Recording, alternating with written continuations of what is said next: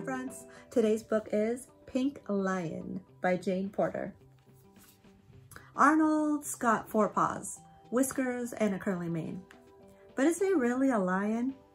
He doesn't think he'll ever be able to run and roar like his fierce friends until an unwelcome visitor changes his mind. A funny and exuberant tale about finding out who you really are. Enjoy!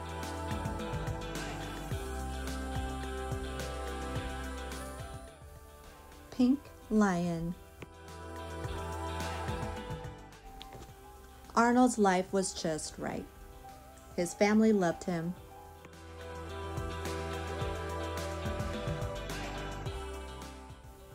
They ate the nicest food, and every day they played games down at the waterhole.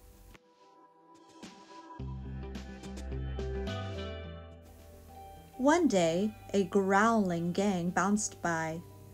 It's a pink lion, they said, living with a lot of birds. What's he doing here? He's supposed to be part of our family.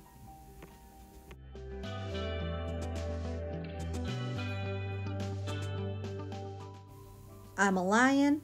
asked Arnold, puzzled. Yes, look at your face in the water, said one of the lions. It was true. They did look alike. They had the same curly hair and whiskers. Could they really be related? Come along with us, said the lions. You should be out, roaring and hunting.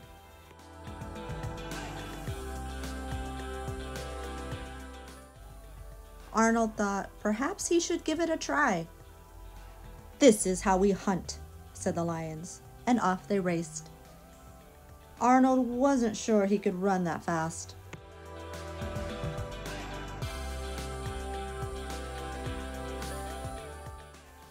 Next, some washing, said the lions.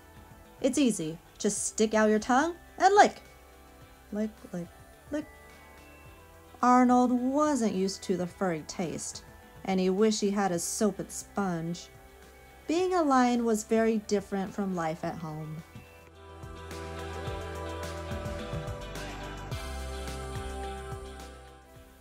Now let's roar, said the lions. All you do is open wide and let it out.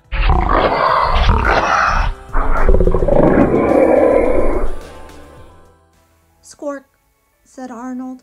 I'm sorry, he said. You've been very kind, but I just can't do it. I'm not a proper lion. I think I'll go back to my family now.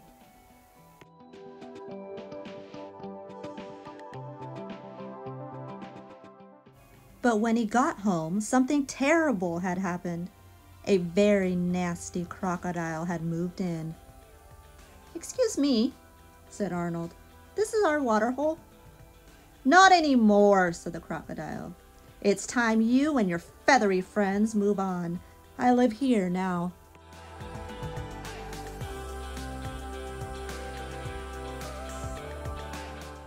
Arnold didn't know what to say.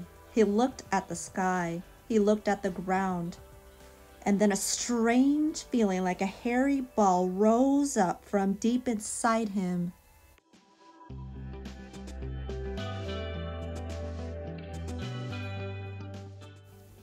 And burst out of his mouth with a mighty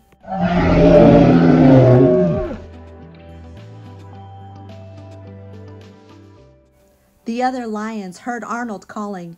Together they chased that crocodile until he wished he had never seen the waterhole.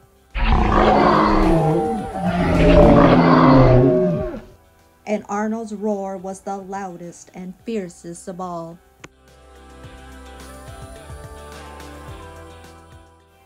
After that, life for Arnold went back to being just right again, and bath time with his new cousins was more fun than ever.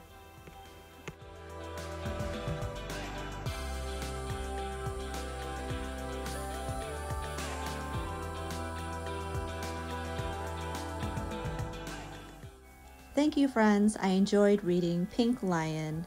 May you always be proud of where you came from.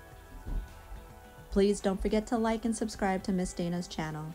Bye, friends, and see you soon.